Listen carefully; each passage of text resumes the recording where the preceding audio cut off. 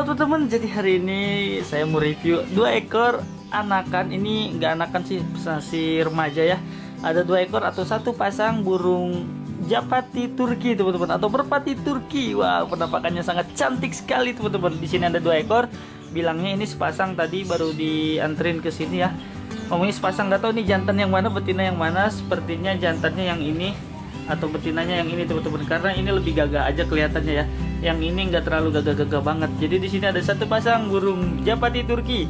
Burung japati ini sangat cantik sekali teman-teman. Di kepalanya itu lihat ada jambul-jambul ke belakang kayak gitu ya. Itu kayak pemain bola asal Jepang yaitu Subasa teman-teman. Wow cantik sekali.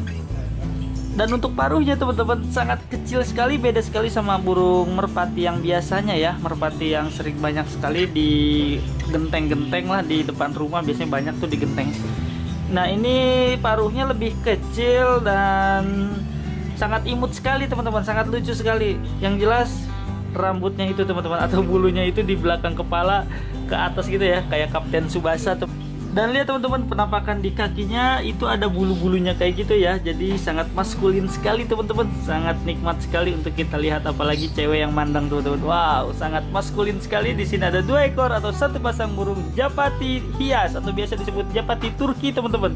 Atau merpati Turki atau burung dara Turki. Banyak sekali namanya pokoknya di sini warnanya sangat cantik. Biasa warnanya tuh belang-belang kayak gitu di sayapnya dan pala sampai dadanya itu putih ya. Jadi sayapnya itu belang-belang warnanya seperti ini.